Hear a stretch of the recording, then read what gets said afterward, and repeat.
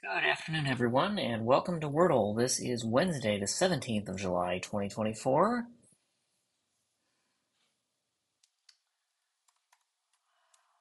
Assuming it'll let me type, I'll start with rainy. We actually have liquid falling from the sky in Dallas Fort Worth for once. Uh, there's no N.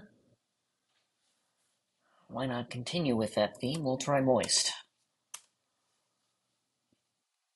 Okay, there's a T, that helps. At least I have two out letters correct. I only have seven that aren't.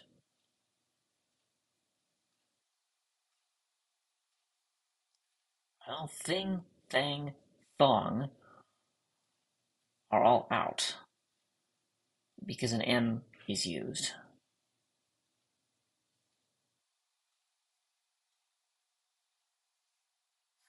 Quilt doesn't doesn't even work.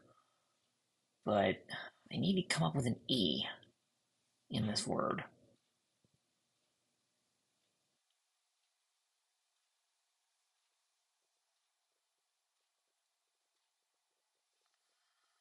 Um, B E.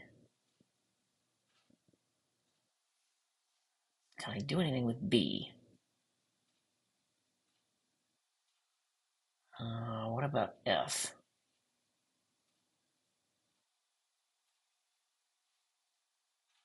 That's not likely. Oh, built. At least gives me some other letters, even though it reuses a T in the wrong position. I get a U. Okay, that eliminates one other option for the T. So T likely comes fourth.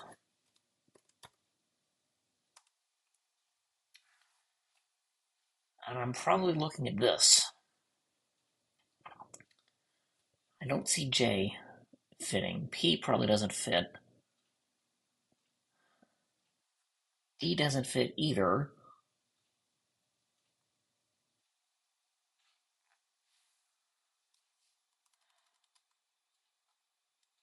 I start thinking about really unusual letters, but there's no way X fits in. I don't think Z could fit in with this either. White would actually work. I'll try it. And it's right. I'll take it. I'm surprised the streak still lives on. I tie it tomorrow and I make a new one on Friday, potentially. So join me for some more.